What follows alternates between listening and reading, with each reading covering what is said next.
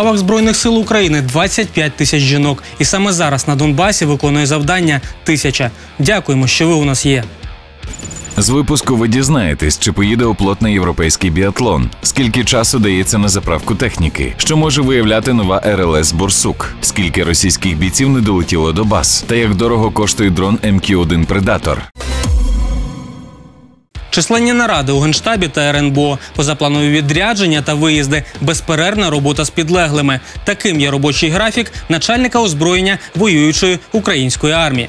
Це ж нам вдалося в нього вклинитись і почути від генерал-майора Миколи Шевцова відповіді на актуальні запитання щодо оснащення війська. Доброго дня, Микола Миколайович. Нашу розмову хотілося б почати е, з коротенького підсумку 2017 року і е, планів на цей рік щодо озброєння.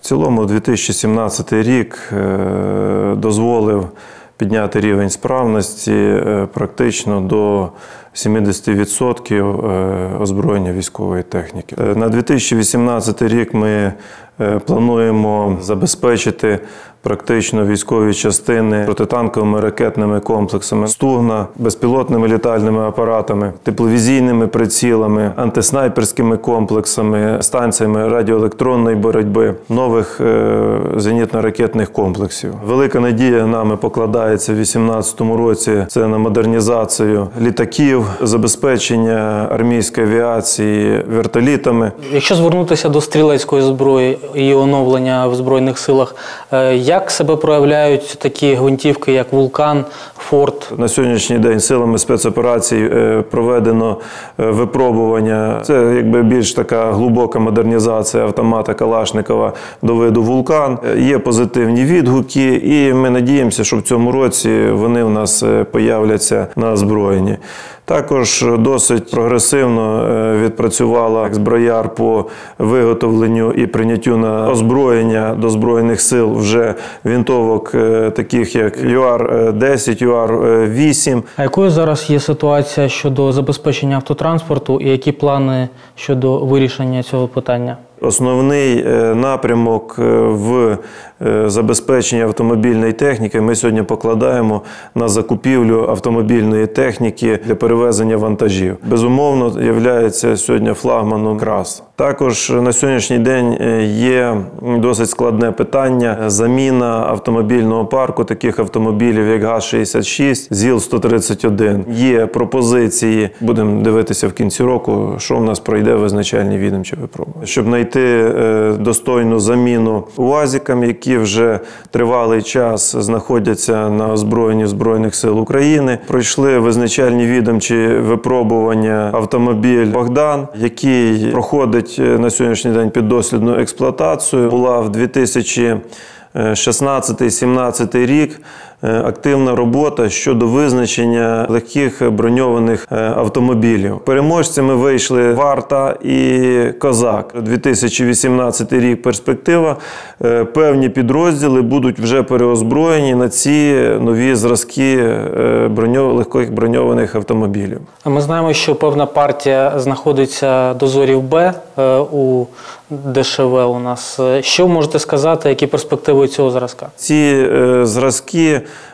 Е, досить е, непогано себе зарекомендували в десантно-штурмових військах. Але хотілося б, щоб е, оборонно-промисловий комплекс прискорив можливості щодо їх виготовлення і постачання для збройних сил. Що можна очікувати щодо перспектив по бронетехніці для збройних сил України? В Цьому році ми сподіваємось, і вже є певні замовлення в державне оборонне замовлення щодо постачання БТР 3 БТР 4 4.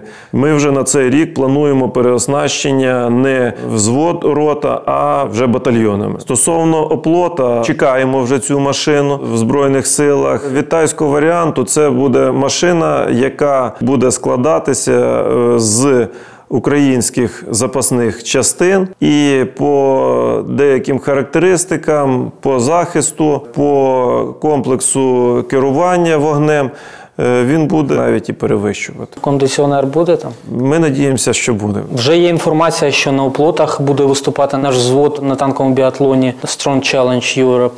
Е, Що можете сказати про це? на оплотах наші, наш взвод в цьому році виступати, е, на жаль, не буде, але буде виступати на зразках танк Т-84, який є попередником для танка Оплот. Досить актуальним зараз є питання модернізації складів та арсеналів боєприпасів. Е, Що робиться в цьому плані? Створено Центральне управління безпеки військової служби, яке в себе е, інтегрувало управління живучості баз складів арсеналів, управління служби військ і управління пожежної охорони. В 2017 році вже була проведена робота щодо введення нових підрозділів, такі як батальйони охорони. Ці підрозділи оснастили засобами для посилення мобільним транкінговим зв'язком, відеоспостереження. На всіх арсеналах в нас на сьогоднішній день вже використовуються станції, які забезпечують е, боротьбу з безпілотними літальними апаратами. В цьому році наш основний напрямок це будівництво захищених залізобетонних сховищ. Вже визначені військові частини, проведені проектні документації. Найближчим часом перший підрядник вже зайде і почне будувати. Це наш основний напрямок. І другий напрямок щодо охоронних периметрів. Щодо переходу е, на на- натівські стандарти, які е, маємо перемоги за останній рік, що планується в цьому році? Проводимо е, роботу щодо сумісності експлуатації озброєння військової техніки. Е, Нами вже відпрацьовано більше 200 е, стандартів, які сумісні з стандартами НАТО. Головне, ми розпочали проводити кодифікацію військового майна за натовськими стандартами. Це нам уже дає на сьогоднішній день можливість е, проводити закупівлю запасних частин за каталожними номерами. Багато зараз хто задає питання, наскільки джевеліни вирішать хід нашої війни. Для нас важливо, що джевелін активно входить в лінійку наших протитанкових засобів, які в комплексі дійсно стануть е, надійним е, опором для супротивника. Розширену версію цього інтерв'ю можна почути у моїй програмі Зброя.UA на військовому радіо Армія ФМ за два тижні. До речі, на півгодинну розмову я регулярно запрошую цікавих гостей зі сфери ВПК, військових та експертів. А зараз традиційно пропоную вам переглянути інформаційний блок від техніки війни.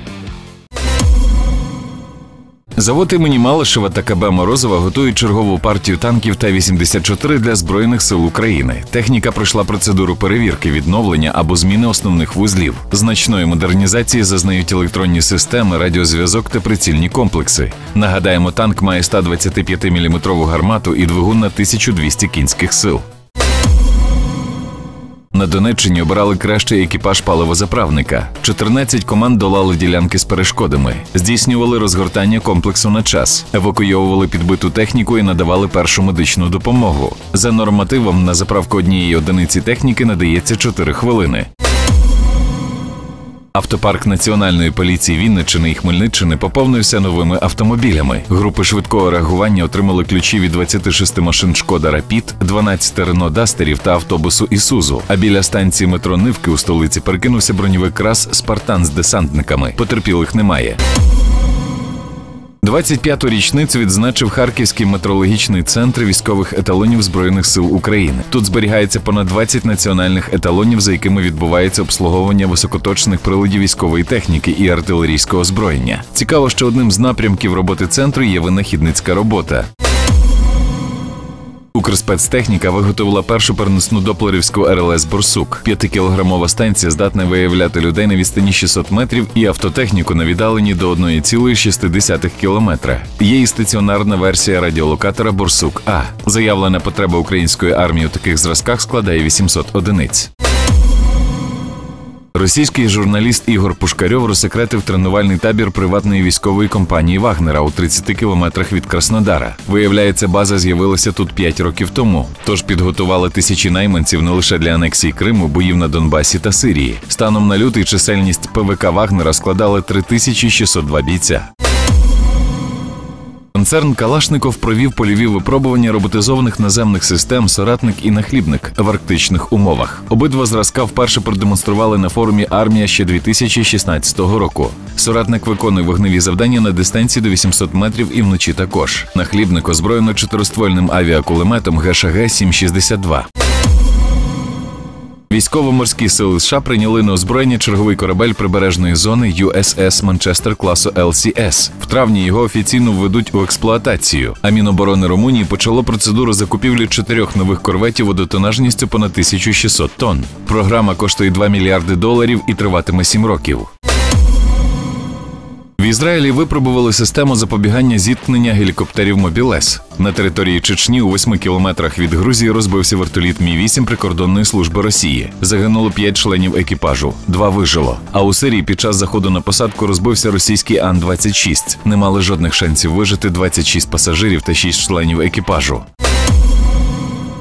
Сінгапурська компанія ST Kinetics оголосила про розробку 60-кілограмового дрона з інтегрованим кулеметом Ultimax 100 Mk8. Китайська академія аерокосмічної аеродинаміки оновила та випробувала безпілотник Цай Хонг 4. А уряд Індонезії придбав у Китаї чотири розвідувально-ударних БПЛА Wing Loong 1 з великою тривалістю польоту. 9 березня відбувся останній політ безпілотного літального апарату MQ-1 Predator армії США, бо командування вирішило його списати, хоча приватні військові компанії будуть юзати його ще до грудня. Далі зразок, що стояв на озброєнні з 2005 року, остаточно замінить модель MQ-9 Reaper. Давайте згадаємо про заслуги ветерана.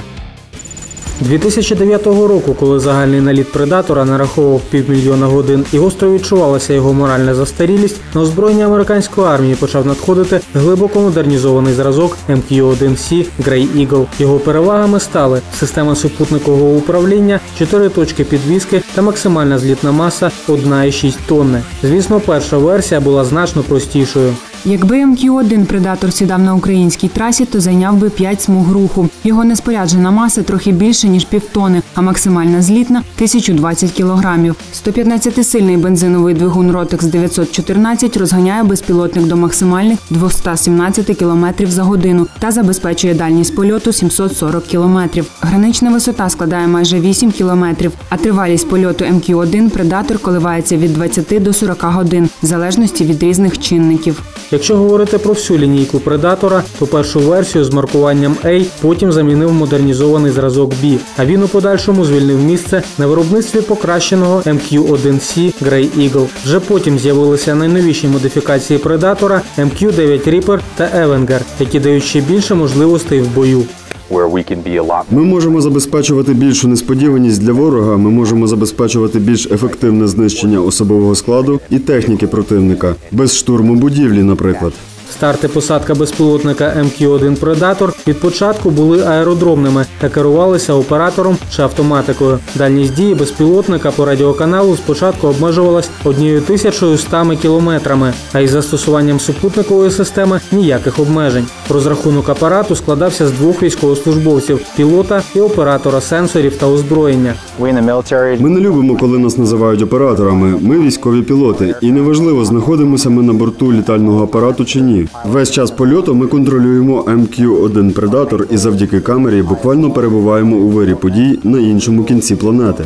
Назва зразка від General Atomic Aeronautical Systems перекладається з англійською як хижак. Його розробка почалася у 80-х, а перший політ розвідувальної версії RQ-1 відбувся у липні 1994 року. Відомо, що у 2006-му федеральним авіаційним управлінням було видано дозвіл на застосування зразка у пошуково-рятувальних цілях. А 2013 року загальна кількість нальоту моделі склала 2 мільйони годин. Загалом побудовано 360 одиниць, тобто 285 розвідувальних RQ-1 та 75 багатоцільових MQ-1. Останній універсал зійшов з конвейера у 2011-му, а розвідник через 4 роки. Безпілотник може ставити крапку у бойовій ситуації самостійно або спільно з союзними силами піхоти. Це рятує життя нашим побратимам і дозволяє їм повернутися до родин неушкодженими.